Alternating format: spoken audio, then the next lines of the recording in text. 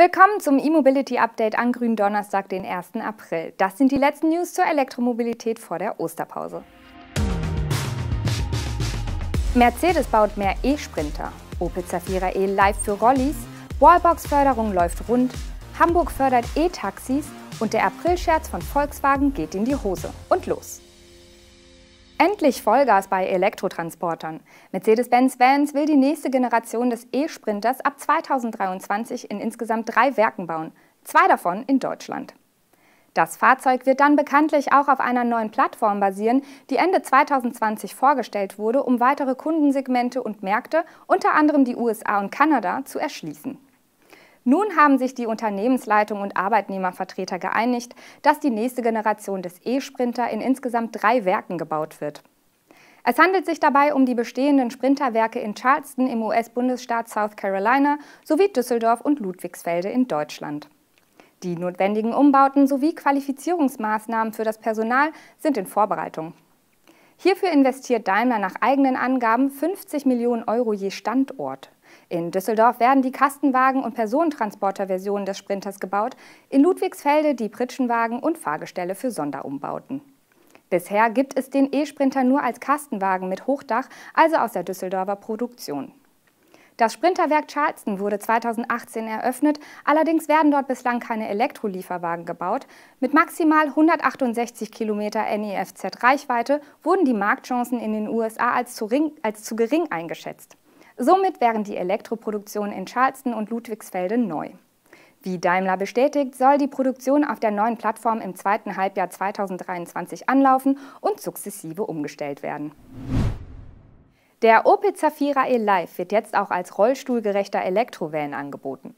In der nun erhältlichen Variante des Umbausspezialisten AMF Bruns wird aus der batterieelektrischen Version des Opel Vans ein vollumfänglich behindertengerechtes Fahrzeug mit großem Heckausschnitt für Rollstuhlfahrer. Der Umbau wird, wie bei den Verbrennerversionen auch, in den Längen M und L angeboten, also mit 4,95 oder 5,3 Meter Fahrzeuglänge. Zusammen mit der tiefer gelegten Bodenwanne beträgt die Innenhöhe im Rollstuhlbereich rund 1,42 Meter und die Durchfahrthöhe 1,5 Meter. Die rutschsichere Rampe am großen Heckausschnitt des Elektrovans soll den einfachen Zugang zum Fahrzeug ermöglichen. Die Rollstuhlwanne verfügt natürlich über geprüfte Personen- und Rollstuhlrückhaltesysteme. Hinzu kommen extra lange Elektrogurte zur vorderen Rollstuhlbefestigung. Selbst mit dem Umbau sollen in der ersten und zweiten Reihe fünf weitere Personen mitfahren können. Beim Antrieb bleibt es aber bei dem gewohnten 100 kW starken Elektromotor. Der Umbau ist aber offenbar nur mit einer der 50 Kilowattstunden großen Batterien für 231 WLTP-Kilometer erhältlich. Das Förderprogramm für private Ladepunkte für Elektroautos erfreut sich großer Beliebtheit. Bei der Kreditanstalt für Wiederaufbau, kurz KfW, sind schon mehr als 310.000 Anträge für den Einbau einer privaten Ladestelle eingegangen. Damit werden aktuell rund 381.000 Ladepunkte gefördert. Vom derzeitigen Fördervolumen in Höhe von 400 Millionen Euro sind daher schon rund 340 Millionen Euro ausgeschöpft. Das Programm wurde erst Ende November 2020 gestartet und wegen der großen Nachfrage bereits zweimal um jeweils 100 Millionen Euro aufgestockt. Aktuell reicht der Topf noch für 60.000 weitere Wallboxen. Eine weitere Aufstockung ist wahrscheinlich. Nach unseren Informationen führt die, führt die große Nachfrage schon zu deutlich längeren Lieferzeiten bei manchen Wallbox-Modellen. Die Fördersumme pro Ladepunkt beträgt unverändert 900 Euro und die Anträge werden in der Regel problemlos bewilligt. Die Auszahlung erfolgt aber erst, wenn Kauf, Installation und Inbetriebnahme der Wallbox anhand von Rechnungen nachgewiesen werden können. In Hamburg startet dieser Tage ein neues Förderprojekt für Elektrotaxis. Es hört auf den schönen Namen Zukunftstaxi und soll hunderte neue E-Taxis auf die Straßen der Hansestadt bringen. Diese werden mit jeweils bis zu 10.000 Euro über einen Zeitraum von zwei Jahren unterstützt, zusätzlich zur Förderung des Bundes. Sind die E-Taxis nachweislich für die Beförderung von Rollstühlen geeignet, beträgt die Fördersumme sogar 20.000 Euro. Wer als Taxiunternehmer davon profitieren will, muss an der ersten Phase der städtischen Förderung teilnehmen. In dieser werden bis Jahresende 130 E-Taxis mit den genannten 10.000 Euro und 20 barrierefreie Taxis mit 20.000 Euro gefördert. Im Oktober 2021 startet dann die Phase 2.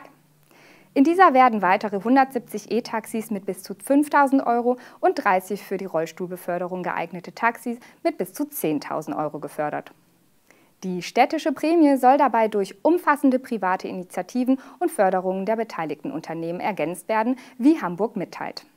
Das Projekt wird mit bis zu 3 Millionen Euro aus dem Hamburger Klimaplan finanziert. Die Stadt erhofft sich durch eine Hebelwirkung der Taxis mit im Schnitt 63.000 Kilometern pro Jahr auf eine deutlich höhere Laufleistung kommen als ein Privat-Pkw. Wir wünschen eine gute Fahrt mit den neuen Elektrotaxis. Dumm gelaufen ist der Aprilscherz von Volkswagen America. Wie die US-Tochter von VW am Dienstag mitgeteilt hatte, solle das Unternehmen künftig Volkswagen heißen. Der Namenswechsel sei eine öffentliche Erklärung für die zukunftsweisende Investition des Unternehmens in die Elektromobilität, hieß es in einer zuvor geleakten Pressemitteilung. Ein US-Unternehmenssprecher bestätigte der Nachrichtenagentur AP nun aber, dass es doch keine Umbenennung des Markennamens in den USA geben werde. Tags zuvor hatte derselbe Sprecher allerdings gegenüber nachfragenden Journalisten noch bekräftigt, die Pressemitteilung zur Namensänderung sei echt.